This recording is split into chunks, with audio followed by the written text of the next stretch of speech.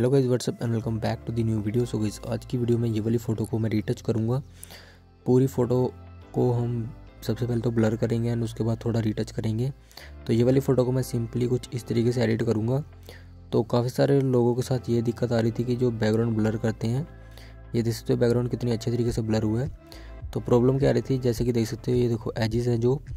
जो हमारा ऑब्जेक्ट है, वो भी साथ में मिल जाता है बैकग्राउंड के तो कुछ इस तरीके की आती है। एंड एक प्रॉब्लम ये थी कि कुछ इस तरीके की फ़ोटो जाती है। कहीं से ब्लर होती ही नहीं है। तो पूरी वीडियो में इसी प्रॉब्लम को मैं सॉल्व करूँगा। तो वीडियो लास्ट तक देखिएगा। वीडियो काफ़ी ज़्यादा मज़ेदार होने वाली है। एंड चैनल पे नए हो तो प्लीज़ चैनल को सब्सक्राइब कर देना। एंड काफ़ी सारे ट्यूटोरियल्स और भी हैं इस चैनल पे। वो चेकआउट कर लेना। एंड चलिए वीडियो को शुरू करते हैं। सबसे पहले जो मैं ऐप यूज़ कर रहा हूँ, उसका नाम है स्नैपसीड तो स्नैपसीड एप्लीकेशन में सबसे पहले हमें करना क्या है? तो सबसे पहले हम टूल में जाएँगे। एंड यहाँ पे हमें हीलिंग का ऑप्शन मिल रहा होगा हीलिंग टूल यहाँ पे जाएँगे। एंड जो पूरी फ़ोटो है उसको हम कुछ इस तरीके से, जो हमारा ऑब्जेक्ट है, इसे हम यहाँ से गायब कर लेंगे। तो कुछ गायब करने के बाद सिंपली इस तरीके से इंटरफेस आ रहा है आपके सामने। तो अभी हमें करना क्या है? सिंपली यहाँ से हमें लेंस ब्लर पे जाना है। एंड जहाँ जितना हमें ब्लर चाहिए, उतना हम ब्लर कर लेंगे।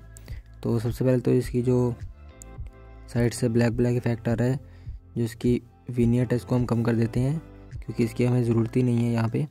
तो जो इसका ट्रांजेक्शन है, इसको आप अपने हिसाब से एडजस्ट करके लगा लीजिए जहाँ से आपको ब्लड चाहिए। तो कुछ इस तरीके से मुझे करीब करीब 55 ब्लर काफ़ी सही लग रहा है। एंड आफ्टर एंड बिफोर देख सकते हो ब्लर काफ़ी अच्छे तरीके से हो गया है। तो यहाँ से हम फ़ोटो को सेव कर लेते हैं।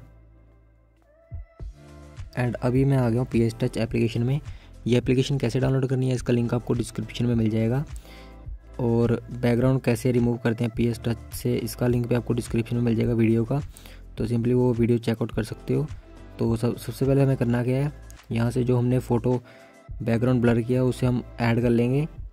ऐड करने के बाद आपको सिंपली उस लेयर को नीचे करना है। एंड जैसे तो काफ़ी अच्छे तरीके से जो हमारा बैकग्राउंड है, वो ब्लर हो चुका है। एंड अभी जो फ़ोटो के साथ दिक्कत आ रही है, वो एक ही चीज़ है कि थोड़ी ब्लैक ब्लैक फ़ोटो है। हम इसमें थोड़ा कलर ग्रेडिंग एंड इसे थोड़ा रीटच करेंगे।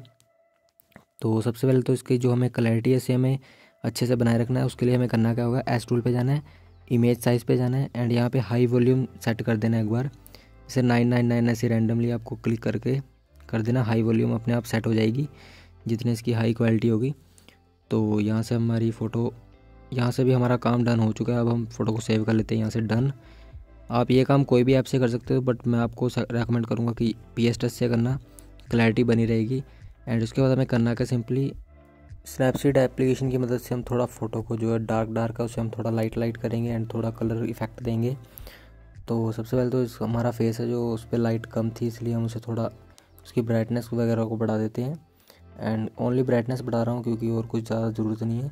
एंड इसके बाद हम टून इमेज में जाएँगे एंड यहाँ से हम थोड़ा सा मतलब फ़ोटो को लाइट लाइट रखेंगे ताकि थोड़ा कलर इफ़ेक्ट अच्छे से आए एंड इसकी थोड़ी सेचुरेशंस एंड एम्बेंस को बढ़ा देंगे।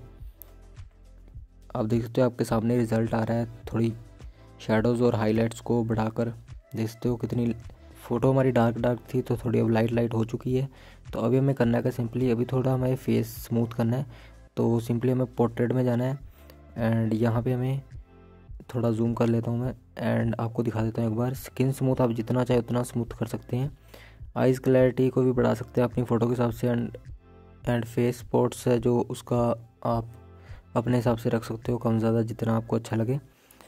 एंड इसके बाद जो हमारा फेस स्मूथ का काम वो भी डन हो चुका है। अब हम फ़ोटो को सिंपली यहाँ से सेव कर लेंगे।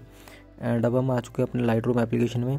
एंड लाइट रूम एप्लीकेशन से हमें करना है सिंपली सबसे पहले तो आपको यहाँ पे ऑटो का ऑप्शन मिल रहा ऑटो पे क्लिक करेंगे तो ऑटोमेटिक जो कलर इफ़ेक्ट है वो आ जाएगा। जितना ऑटो में काफ़ी अच्छे तरीके से एडजस्टमेंट हो जाती है।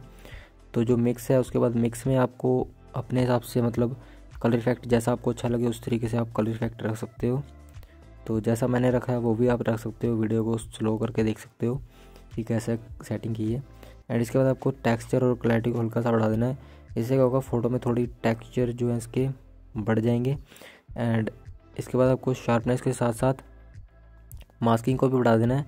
एंड इससे एजिस जो हैं वो शार्प होंगे ओनली फ़ोटो कम शार्प होगी। तो ये भी काफ़ी अच्छी चीज़ है। एंड इसके बाद आपको लाइट रूम में कुछ बेसिक से कलर इफ़ेक्ट्स भी मिल जाते हैं। कुछ इस तरीके से ये वाला टूल है जो इसे आप अपने हिसाब से फ़ोटो को एडजस्ट करके कहीं भी लगा सकते हैं।